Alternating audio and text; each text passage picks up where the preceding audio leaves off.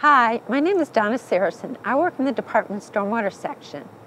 Often I'm out in the field conducting inspections or monitoring stormwater, but today I'm here to discuss with you common compliance problems with the Industrial Stormwater General Permit. Now let's get started. The most common problems we have found to date are failure to register, failure to monitor stormwater, and failure to update the pollution prevention plan. As of June 30th, 2013, department records indicate that out of 1,400 plus facilities, 50 haven't registered for the permit. We have approximately 250 that have missed at least one sample and 260 that have missed at least two. Permitted sites were notified in April of 2011 that they were required to re-register for the stormwater permit by June 1st, 2011 and update and recertify your pollution prevention plan. There have been several different warning letters sent to permittees for requirements missed. In August of 2012, facilities were sent a warning letter informing them that they had missed monitoring and failure to re-register. In January 2013, we notified permittees that were missing three samples. Now let's go over the basics of the monitoring requirements. Some of the current monitoring requirements are different than past monitoring requirements.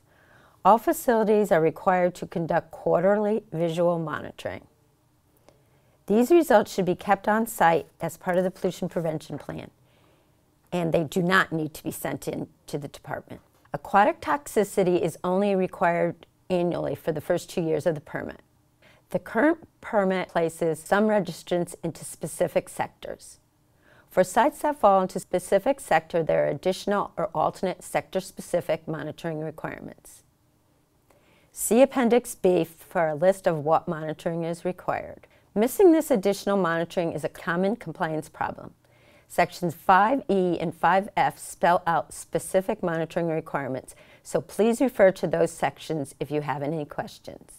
Impaired waters monitoring is new to this permit, and some facilities are forgetting to complete this monitoring requirement. During the permit registration, you had to determine which receiving water body your facility discharges into. Using this information, you can refer to the Impaired Waters Monitoring table on the department's stormwater page. This table lists the frequency and type of additional monitoring required. This is an example of visual monitoring. The results should be recorded and kept in the pollution prevention plan. You may conduct your visual monitoring on the same day that you collect a sample for analysis. This is a partial look at the table in Appendix B. Appendix B lists all the monitoring requirements for each sector in table form. We call it the cheat sheet, and it should be used as a quick reference for monitoring requirements. Now let's go through a sample stormwater monitoring report form, also known as the SMR. This is for Sector A, which has to meet general and Sector A specific additional requirements. This lists all the general parameters.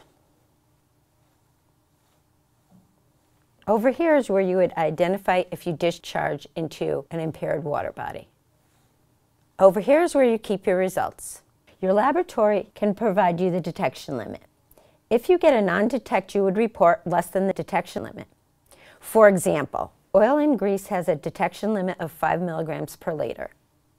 If the result reported by the lab is non-detect, you would just enter less than 5 milligrams per liter in this area.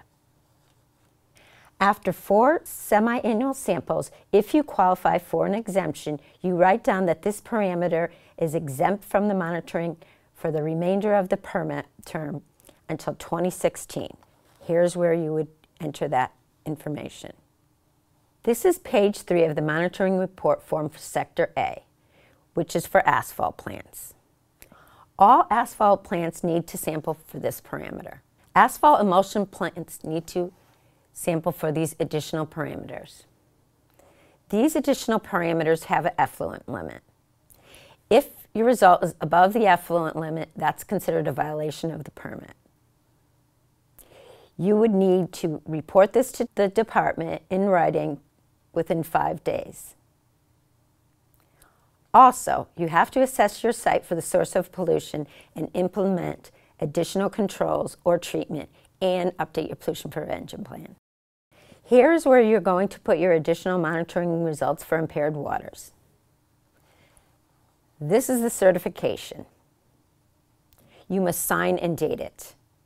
The top signature is for the permittee, and the second signature is for any other employee or consultant that prepared this report, such as a company representative or a consultant.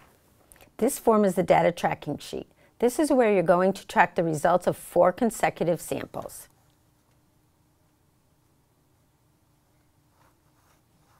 This exemption only applies to samples collected under the current permit. Samples collected under the expired permit should not be entered here. Notice the benchmark. If before four samples are collected, you have a result high enough that there's a mathematical certainty of your result will be above the benchmark, you need to note this on page one of the SMR. For example, the oil and grease benchmark is 5 milligrams per liter. If your first sample is 21 and you divide 21 by 4, the quotient would be greater than 5. Therefore, you are mathematically certain that your result is greater than the benchmark. You need to update your pollution prevention plan and improve site conditions. If your result is below the detection limit, use one half of the detection limit for averaging purposes. For example, if the oil and grease result is non-detect with a detection limit of 5 milligrams per liter, use 2.5 milligrams per liter when calculating the average. Now I'm going to go over some common compliance problems with the monitoring requirements. Often sites indicate no sampling was done because there was no stormwater discharge. To document the absence of a discharge, it is important to maintain certain information in your pollution prevention plan. Track the date, the time, the amount of rainfall, and your observations regarding no discharge for each storm during each quarter or six-month sampling period. Just making one attempt to take a sample during the quarter or six-month period is not adequate. You must observe the site for discharge for as many stormwater events that there are in that sample period. At the end of the sample period, if there was no discharge, you submit a signed SMR noting no discharge in the place for the sampling date, which is on page one of the reporting form. Include the time period in question. It is very important to know who will be collecting your stormwater sample. Sometimes permittees hire consultants to collect stormwater samples. That is fine but make sure you maintain your relationship with your consultant. If your consultant's contract wasn't maintained, they will not be collecting future samples. Another important part of the stormwater sampling is tracking the weather forecast to project when a storm event is coming. If on-site personnel will take the sample, make sure they have the proper bottles from your lab to collect the sample. After the sample has been collected, put it on ice in a cooler and bring it into the lab for analysis as soon as possible so that sample hold times are not exceeded. If site personnel is not sampling, confirm with their consultant that they will be following this procedure. Now let's talk about qualifying stormwater monitoring events. Recently, the department sent out warning letters to permittees who had failed to submit monitoring data. In response, I had calls from people saying they didn't sample because there were no qualifying events in the last year and a half. You have to understand what a qualifying event is in order to make that claim. A qualifying event is a discharge from the stormwater event where there was a previous 72-hour dry period. That is, a 72-hour period where no stormwater discharge occurred from the site. Stormwater samples collected for analysis must be at least 30 days apart.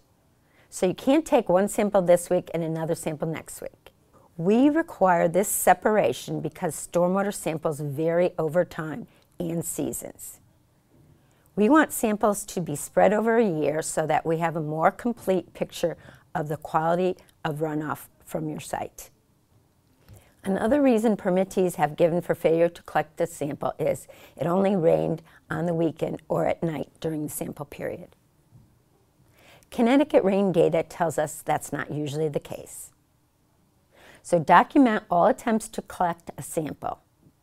In order to be able to collect a sample on the weekend or at night, you must have a plan in place for a site employee who lives nearby or a consultant to access your site and its discharge points during those off hours.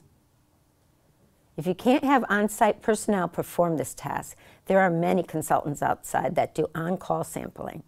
It may cost you in the short term, but will be well worth the cost to maintain permit compliance. When hiring the consultant, call a couple of nearby consulting firms for a price quote. Another problem we have seen is sampling for the wrong parameter or forgetting the additional sector-specific sampling. Again, look at Appendix B to guide you in what sampling is required. I want to remind you that aquatic toxicity is only required to be done once per year for the first two years of permit coverage not every year until 2016.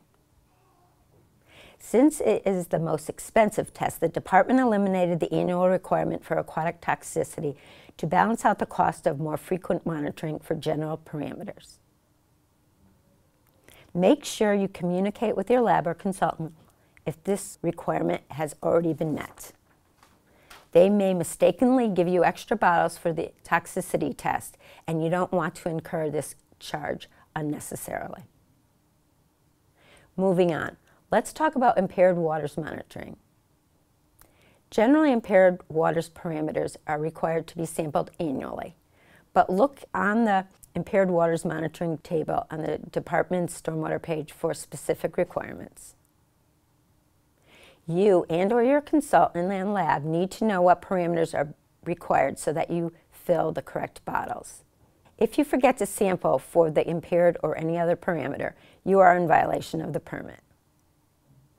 In addition to general monitoring requirements which apply to all sites, certain sites have additional or alternate monitoring requirements. For example, Sector C specifies additional requirements for landfills, while Sector B for mines and quarries do not have additional parameters.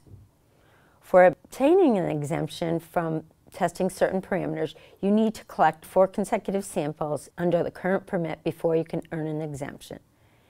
If the average of the four consecutive samples is below the benchmark, you are exempt from sampling for that parameter for the rest of the permit. As a reminder, you can't use data collected under the previous permit term to earn an exemption. It is important to train personnel on the proper location of the stormwater discharge point as required by the pollution prevention plan. If site conditions change, then the sample location may change. For example, construction may add or remove outfall points. You must determine if the sample location changes. Then, update your pollution prevention plan and appropriate personnel and or your consultant. Now let's change topics and go over issues that come up during the department's inspections. One of the most common problems is that facilities aren't conducting inspections. The permit requires monthly routine inspections as well as semi-annual comprehensive inspections. Also, there are some additional inspection requirements for facilities that fall into certain sectors. For example, auto salvage yards, which are in Sector D, must inspect vehicles when they first arrive at the site for leaks. The department also finds that inspections aren't thorough enough when they are done.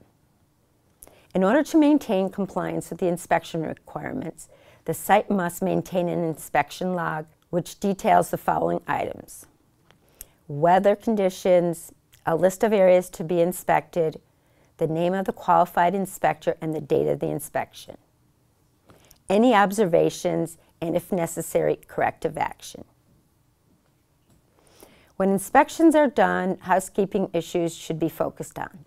If a site's housekeeping practices are inadequate, then stormwater quality will be poor with higher levels of pollutants. Other times I've gone out to facilities and find some very basic problems. Often, site personnel don't even know what a pollution prevention plan is. Or the one person that may have some familiarity with the plan is not on site on that day.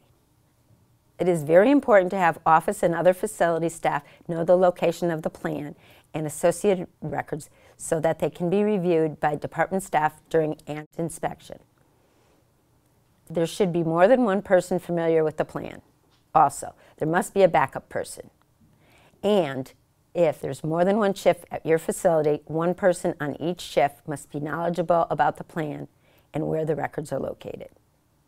For example, during one inspection I conducted, a facility took an hour to find the inspection records on the computer. If stormwater records are not available, this is a violation of the permit. There are some facilities that conduct an industrial activity but might not have a point source discharge. If you're confident a point source discharge of stormwater doesn't exist at your site and you've had a consultant verify that assessment, you are not required to register for this permit or comply with its conditions. An example of this is where the site has topography such that it's shaped like a bowl and water doesn't run off the site. It just runs on the site and into the site and infiltrates into the ground.